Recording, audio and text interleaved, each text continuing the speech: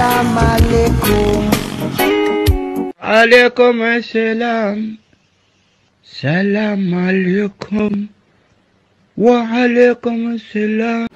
अलैक्म जी आज हमारे साथ बड़ा ही बैड सीन हो गया हुआ ये कि मैंने पासुकोन की वीडियो बनाने के लिए ड्रोन उड़ाया और टू एक्स जूम किया मैंने जो कि सेकंड फुटेज मैंने लगाई हुई है साथ तो पता ही नहीं चला कैसे हमारा ड्रोन जो है वो किसी दरख्त के साथ टकराया और क्रैश हो गया कोई तीन घंटे हम लोग ड्रोन को ढूंढते रहे, लेकिन ड्रोन नहीं मिला।